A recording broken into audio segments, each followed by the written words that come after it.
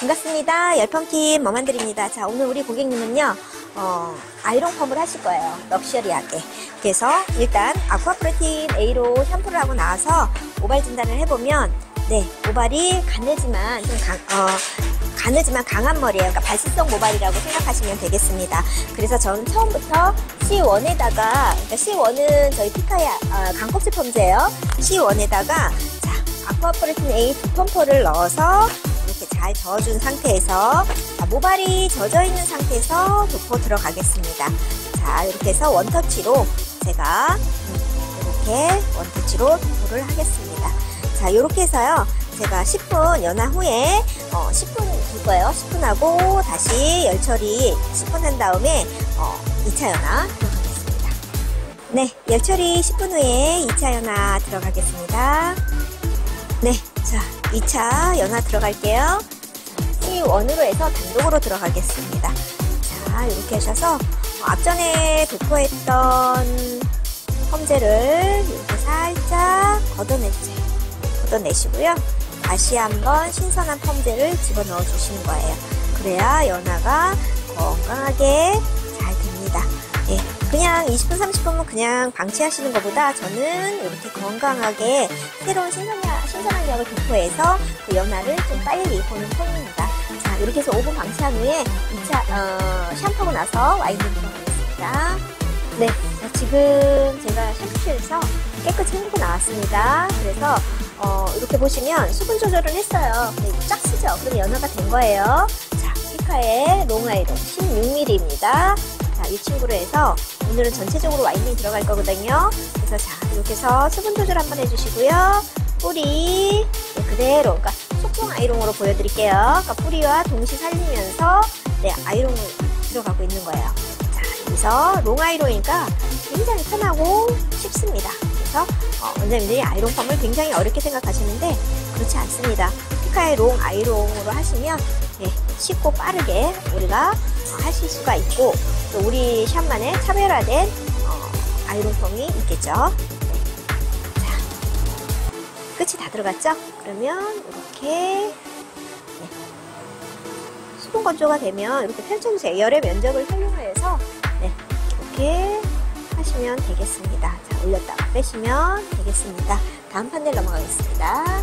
네, 세 번째 판넬은요. 자, 이 부분보다 이 골든 포인트 이 부분을 제가 볼륨을 더 주고 싶은 거예요. 그래서 슬라이스를 조금 얇게 뜨겠습니다. 자, 자 수분 한번 날려주시고요. 뿌리 살렸죠?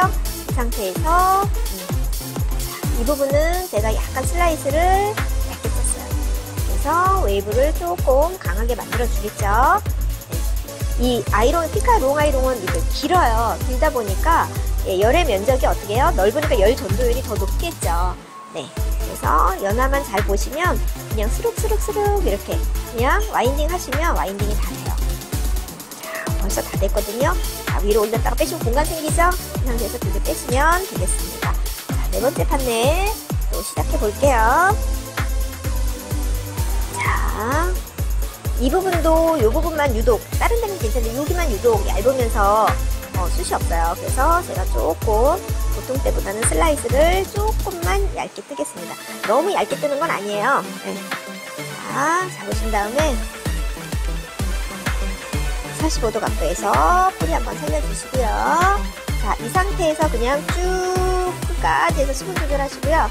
아까 뿌리 살렸던 제자리 보신 다음에 빗을 아이롱하고 딱 붙여주세요. 자, 하나, 둘, 셋, 넷, 다섯. 됐죠? 이 상태에서 그냥 바로 와인딩. 자, 끝이 다 들어갔습니다. 하나, 둘, 셋, 넷, 다섯. 됐죠? 자, 이렇게 해서 또 한번.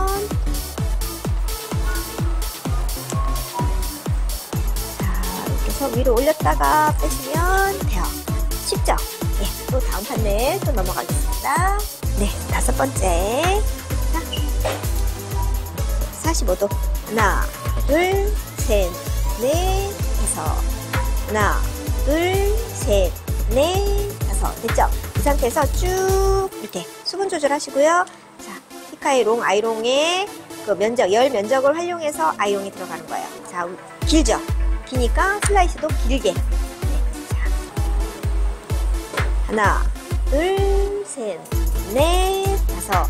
모발이 이 글러브 안으로 싹 들어가면 이때 5초를 세세요. 그 다음에 예, 공회전 하시면 어때요? 아이롱에서 머리카락이 딱 떨어지는 느낌이 나거든요. 그때까지 공회전 하신 다음에 올렸다가 빼시고 그럼 공간이 생겨요. 그럼 이 끝으로 모발 요 끝으로 이렇게 싹 잡아 당기시면 됩니다. 자, 또 다음 판넬 넘어가겠습니다.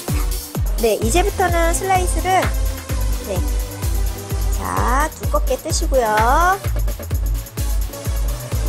자, 우리 주마 스타일에 있어서 주마 어, 우리 고객님 숏머리에 있어서 좀 럭셔리하게 하시는 게 굉장히 중요합니다. 네, 자, 그래서 자 끝이 다 들어갔어요. 글러브 안으로 하나, 둘, 셋, 넷, 다섯 됐죠? 이 상태에서 네, 위로 올렸다가 빼시면 되겠습니다. 다음 판넬 넘어가겠습니다. 네, 자 여기서 수분 먼저 하시고요. 네, 자 굉장히 길죠? 저는 길게 합니다. 자, 여기서 수분 건조 되고요. 밑하고 아이롱을 딱 붙여주세요. 이 상태에서 조금 뜸 들였다가 네. 자, 이렇게 해서 글러브 안으로 머리 끝이 다 들어가면 하나, 둘, 셋, 넷, 다섯 됐죠? 네, 정해져. 자, 이렇게 빼시면 되겠습니다. 자, 다음 판넬 또 넘어갈게요. 자, 여기 보시면 예, 자 미들존인데 어때요? 슬라이스를 길게 이렇게 쭉 떠주시면 돼요. 네, 그냥 길게. 네, 빛보다도 더 크네요. 머리 잡은 게. 음, 자, 이 상태에서 수분 날리시고요. 계속해서 저는 그냥 16mm로 와인딩 들어갈게요. 네. 자, 끝이 다 들어갔습니다. 하나, 둘, 셋, 넷, 다섯. 됐죠? 자, 이렇게 해서 빼겠습니다. 그러면 벌써 여기는 winding이 다 끝난 거예요. 우측에 이제 우측하고 좌측만 하면 되는데, 자, 우리 고객님이 이렇게 넘어가시니까 여기보다는 이쪽 좌측을 먼저 하시는 게 더 유리하겠죠? 좌측으로 넘어가겠습니다. 네, 좌측 먼저 들어갈게요. 자, 앞에 face line부터 해서 네, 길게 네, back part까지 거의 거의 다 오죠. 자, 이 상태에서 저는 우리 피카는 아이롱이 길다 보니까 그냥 세 파트로만 나눠서 하셔도 되겠습니다. 자, 16mm로 먼저 아이롱 들어가겠습니다. 자, 수분 먼저 하시고 자, 여기서 건조가 되면 천천히 예, 자, 글러브 안으로 머리 끝이 다 들어갔어요. 하나, 둘, 셋, 넷, 다섯. 됐죠? 이 상태에서 수분 건조. 참 쉽지 않아요? 네. 네. 자, 나만의 샵마다, 요즘에 샵마다 이렇게 경쟁력이 있어야 돼요. 네. 왜냐하면 심각하거든요. 예, 경기가. 그래서 나만의 칼라, 나만의 무기가 있다면 어, 경기 탓 안 해도 됩니다. 자, 자, 잡으시고요. 수분 건조하셨죠? 이 상태에서 빗을 아이롱에다 딱 대세요. 그 다음에 조금만 수분 건조하시고요. 자, 됐죠?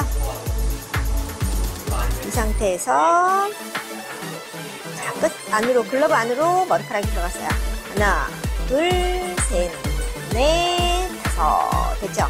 자, 이 상태에서 샤라라라라. 네. 자, 그 다음에 세 번째 판넬 넘어가겠습니다. 네, 좌측에 세 번째 판넬 들어가겠습니다. 길게 잡으신 다음에 네, 자, 16mm 기니까 되게 편해요. 네, 금방이에요 winding. 네. 우리 중간 스타일에 있어서 한 시간씩 한 시간 반씩 winding 하면 어떻게 돼요? 환원제가 다 날아가 버려가지고 웨이브가 안 걸려요. 네, 그래서 이렇게 환원제가 있는 동안에 예, 10분에서 15분 안에 와인딩은 끝나야 됩니다. 자. 어, 벌써 좌측 다 끝났어요. 우측으로 넘어가겠습니다. 네, 우측이에요. 우측에. 자, 여기 백파트부터 해서 앞쪽으로 헤이스 라인까지 그냥 길게 이렇게 길게 뜨시면 돼요. 자, 빗질 잘 하시고요. 자, 여기 굉장히 길죠? 16mm, 16mm 가지고 자, 수분 조절 하시고요. 잡으신 다음에 네. 하나, 둘, 셋, 넷, 다섯. 됐죠? 자, 이 상태에서 공회전 하시고, 네, 이렇게 빼시면 되겠습니다. 두 번째 판넬 넘어가겠습니다. 네, 두 번째 판넬도 백판트에서 프렌트까지 그냥 길게 이렇게 잡아주시면 돼요. 굉장히 길죠? 네, 이 상태에서 16mm. 근데 굉장히 가볍습니다. 피카에 16mm로, 네, 좀 길게 잡으세요. 네, 롱아이롱이 네, 긴 이유가 있겠죠? 네. 자, 두상의 각도에 맞춰서 자연스럽게 그라데이션을 해서 웨이브가 생겨요. 그러니까 짧은 것보다 훨씬 좋습니다. 긴 아이롱을 가지고 짧게 짧게 잡는 습관 버리시고요. 그냥 길게 길게 네 이렇게 잡으시면 되겠습니다. 세 번째 판넬 넘어가겠습니다. 네, 세 번째 네, 세 번째입니다. 길게 잡고요.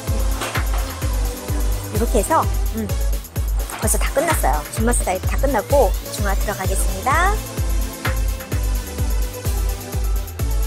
네, 자 지금 중화 후에 저희 샴푸하고요 깨끗이 헹구고 나왔습니다. 어때요? 럭셔리하게 잘 나왔죠? 드라이 건조하면 굉장히 예쁘게 나올 것 같지 않나요? 자, 또 예쁘게 건조해서 다시 한번 보여드리겠습니다. 네, 자 거의 다 건조가 됐습니다. 어때요? 예쁘나요? 네. 이게 아이롱 폼의 매력이라고 저는 생각합니다. 네. 굉장히 예쁘죠? 음, 이 상태에서 하나의 꽃은 아이롱. 어때요? 그죠? 맞다고 생각지 않아요? 굉장히 예쁘지 않아요? 네. 우리, 우리 중년들도 꽃이랍니다. 이렇게 예쁘게 해주면 굉장히 기분 좋아요. 여기에, 어, 마무리 재료는 여기 보시면 샤이니 왁스 있죠? 얘가 이렇게 생겼어요. 열면 향도 괜찮습니다. 네, 스타일링 하실 때 네, 샤이니 왁스를 요 보시면 shiny 왁스, 와이스, shiny 왁스예요. 네, 이 친구에다가 여기 보면 짜잔, 네, 액션 크리스탈 liquid 오일이에요. 얘는 deep하지가 않고 light해요. 굉장히 머리가 반짝반짝반짝하다 할까요? 네, 이 친구를 두 개를 저는 이렇게 믹스를 하겠습니다. 해서 음, 이렇게 해서 자 보세요. 그냥 살짝 살짝 네 이렇게 어때요? 더 럭셔리하게 예쁘게 생기죠. 네, 저는 이렇게 마무리할 때 이 친구로 이렇게 마무리를 합니다. 자, 또 예쁜 사진 찍어서 많이 올려드릴게요. 원장님들이 이렇게 해서 또 우리 샴푸 그 뭐랄까 샵에서 음, 부가가치로 충분히 올릴 수가 있습니다. 네, 피카의 턱 이렇게 아이롱 폼대가 굉장히 간단하고 쉽습니다. 이렇게 활용해 보시기 바라겠습니다.